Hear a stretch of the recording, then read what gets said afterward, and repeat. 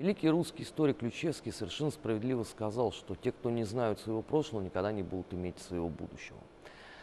А, то, что мы видим здесь, это а, продукт многолетней гигантской работы коллектива музея по сохранению нашей национальной памяти.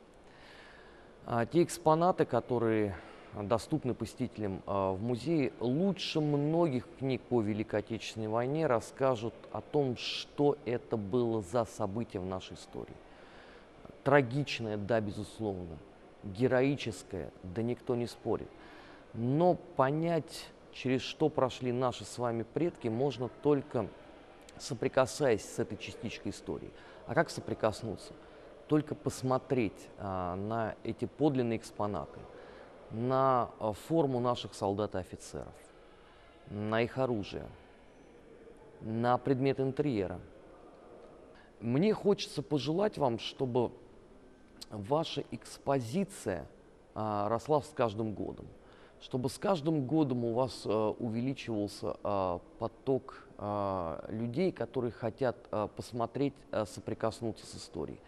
Мне хотелось бы вам пожелать того, чтобы ваша экспозиция стала вообще самой крупной в мире.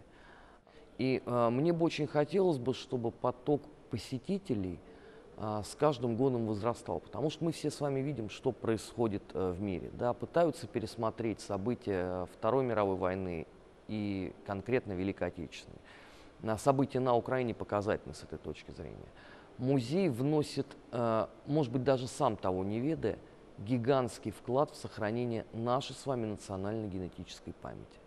И чем больше молодых людей, э, еще сегодня детей, может быть, э, будет приходить, э, смотреть, соприкасаться и проникаться величием победной истории нашей страны, тем с большей э, вероятностью мы с вами сохраним на века, действительно, это, несмотря на громкие слова, но это правда, э, тем с большей вероятностью мы сохраним на века память о подвиге наших с вами э, дедов.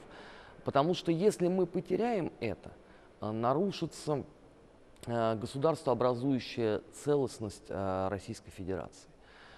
Э, я прежде всего хотел бы вас поздравить всех с некруглой датой и сказать, что ваша история, как это не парадоксально сейчас, может быть, прозвучит из моих уст для вас – ваша история еще, по сути дела, только начинается. И то, что музей э, сделал уже и, насколько я знаю, планирует э, делать в дальнейшем для сохранения этой памяти, это э, честь и хвала и низкий поклон абсолютно всем э, людям, которые этим занимаются, потому что у нас э, сейчас не очень любят э, слово «подвижник», такое известное в России, но я бы вот назвал бы э, сотрудников э, музея на Поклонной горе настоящими подвижниками подлинной национальной памяти народов России.